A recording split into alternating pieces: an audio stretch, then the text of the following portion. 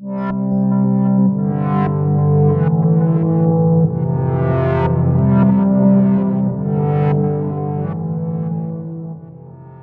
Hello, hello. I'm Bretton, one of our MCAT tutors here at Inspira Advantage, where we help students get accepted into medical school and other professional programs. And welcome back to MCAT Bites, where we break down complex MCAT topics. Today's topic is on deviance and social control, a subject crucial for both the MCAT and understanding social dynamics. Dive in as we explore how society defines normalcy and reacts to deviations, all while getting you an extra three to four points on the psycho section. Let's jump on in, starting with some definitions. Deviance refers to actions or behaviors that veer off the path of social norms, ranging from jaywalking to more severe acts like theft. But what's fascinating is how these norms shift across cultures and times, reflecting society's evolving moral compass. Social control, the mechanisms a society employs to enforce its norms, can be as mild as a disapproving glance or severe as legal penalties. Let's dissect the layers of social norms from the laws etched in legal codes to the unwritten rules guiding everyday interaction, beginning with the spectrum of social norms. Imagine entering an elevator and facing the crowd instead of the door. This would be a folkway violation that raises eyebrows but carries no real moral weight. Contrast this with more severe breaches,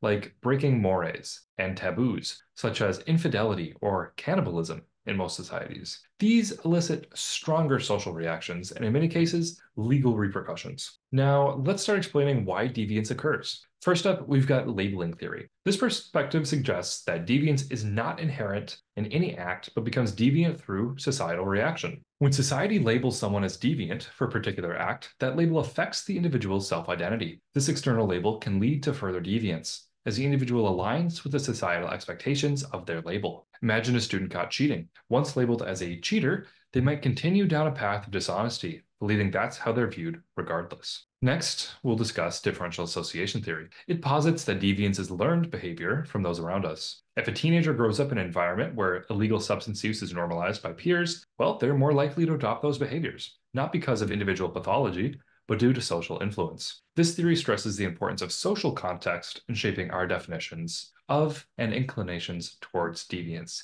It says who you hang out with is who you're going to become. Finally, strain theory. This brings a new angle, focusing on the gap between societal goals and the means available to achieve them. Not everyone has access to the legitimate means to reach society's success benchmarks. This discrepancy can lead individuals to adopt deviant methods to fulfill their ambitions. An example could be someone from a disadvantaged background turning to illegal activities as a means of achieving financial success driven not entirely by moral deficiency, but by structural inequalities. To break down strain theory, it's sort of like you're really straining because you want to do something, but there's some external factor preventing you from doing it that you are unable to overcome. Because of that, you blow up and likely commit some crime. Let's connect these theories to social control. Understanding these theories provides insights into the mechanisms of social control. Societies and their institutions react to deviance based on these underlying principles shaping policies and interventions. Whether through reinforcing norms or addressing the root cause of deviance, social control efforts are deeply intertwined with our understanding of why deviance occurs. Consider how tattoos are celebrated as art and identity in some cultures, yet viewed as rebellious or unprofessional in others. This cultural dichotomy showcases the relative nature of deviance. Reflect on the impact of social media on deviance perception, where behaviors once considered private or taboo are now broadcasted and, in some cases, normalized. Let's finish off with some practice questions to make sure you've got it down. A high school student is caught cheating on an exam and is labeled as a cheater by both peers and teachers. According to labeling theory, what is a likely long-term outcome for the student? Take a few moments and try and answer this on your own. The correct answer to this will be B. The student internalizes the label and continues to engage in cheating, believing it to be a part of their identity. The student was labeled a cheater, so he's going to be a cheater forever. We've got two left here. Which scenario best illustrates the differential association theory? A, a teenager decides to start shoplifting after observing and discussing the behavior of older siblings who shoplift. B, an individual decides to commit a crime after weighing the pros and cons. C, a person from a low income neighborhood chooses not to engage in crime, aspiring to societal ideals of success. Or D, a community collectively decides to follow new social norms introduced by external influences. Take a few moments, think about it, write it down. I think the answer to this one will be